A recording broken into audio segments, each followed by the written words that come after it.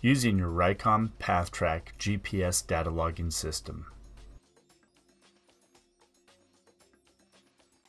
First, to data log points internally, you'll need to insert a 1 or 2 gigabyte FAT16 microSD card. Turn the GPS feature on in the programming menu.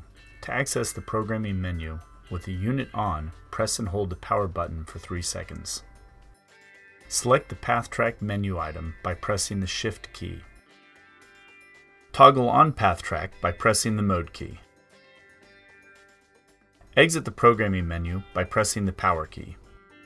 To log a point, press the Shift key. Hold the unit in position and wait until the SD LED flashes yellow.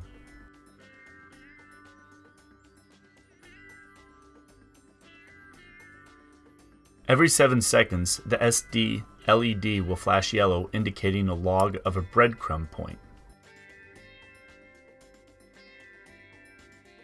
Within the programming menu, under Items, preset attributes may be assigned to the current points being logged. The PathTRAQ LEDs offer easy to understand indication of condition. The BLE LED indicates pairing with the PathTRAQ cell phone app. The SAT LED indicates the number of satellites visible. The GPS LED indicates if the GPS and data logging is turned on.